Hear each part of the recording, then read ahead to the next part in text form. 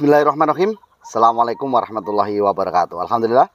Teman kali ini kita mau membahas tentang anak-anak perkutut udan mas ya Jantan dan betina.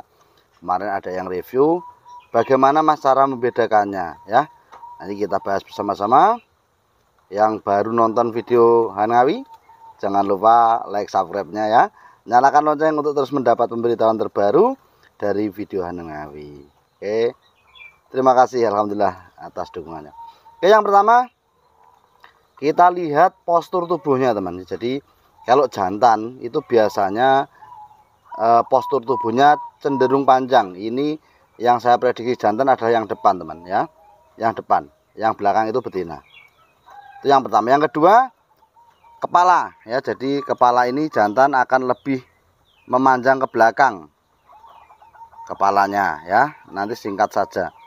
Penting do paham. Yang ketiga, bola mata akan sedikit lebar. Ya, jantan itu bola matanya sedikit lebar. Beda dengan betina. Oke. Yang keempat, bentuk paruh. Ya, Anda perhatikan betul-betul.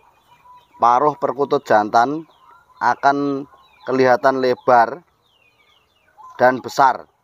Beda kalau betina nih. Ya.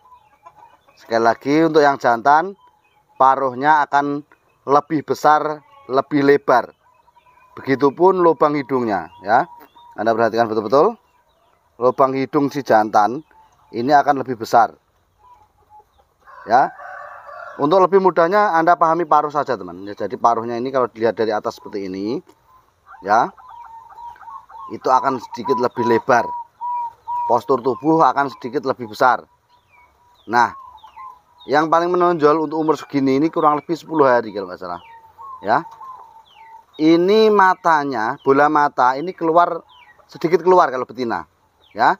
Kalau betina sedikit keluar bola matanya. Anda perhatikan betul-betul. Sehingga mempertajam bentuk kepala eh, bentuk kepala betina sedikit lebih lebih bulat. Ya untuk jantan matanya lebih lebar. Cuma kalau dilihat dari atas seperti ini teman itu simetris matanya. Tidak menonjol seperti betina seperti ini ya. Ini betinanya. Anda perhatikan betul-betul. Ya betina ini matanya sedikit menonjol keluar kan? Ayo anda perhatikan betul-betul. Ya tapi untuk bola mata tetap lebih besar yang jantan. Nah ya ini. Oke paham ya? Untuk dada biasanya dada perkutut jantan akan lebih lebar. Akan lebih lebar dibanding yang betina.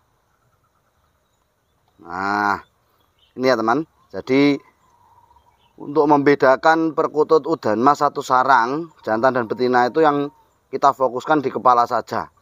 Ya kepala saja. Nah leher saya kira tidak begitu menonjol perbedaannya. Walaupun sebenarnya di leher ini teman ini kalau jantan akan kelihatan lebih lebih panjang dan besar. Ya beda. Nah wedok ketok enjet ketet meh hampir mepet karo sayape. Yang lainnya bentuk-bentuk lainnya akan kelihatan e, tubuhnya meramping seperti ini. Jadi kalau betina itu posisi siap seperti ini betina itu akan sedikit mengembang ke belakang sayapnya. Kalau jantan tidak. Ya pokoknya nak jantan itu untuk umur seperti ini yang harus anda cermati adalah postur tubuhnya simetris. Nah gede niku didelok niku simetris dari kepala sampai sampai ekornya. Nah, beda ya? Beda. Kalau anda perhatikan betul-betul beda. Nah untuk perkutut mega mendung Mojopahit dan mega mendung saya kira hampir imbang ya. Hampir sama ini teman anda perhatikan betul-betul di atas ini.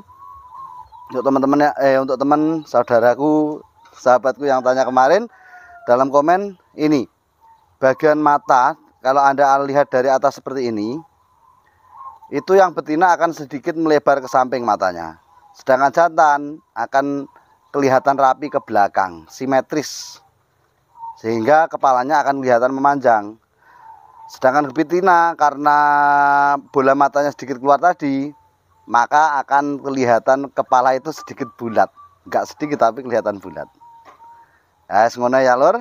Temanku, semoga bermanfaat untuk teman-teman. Salam ngutut sopai patut.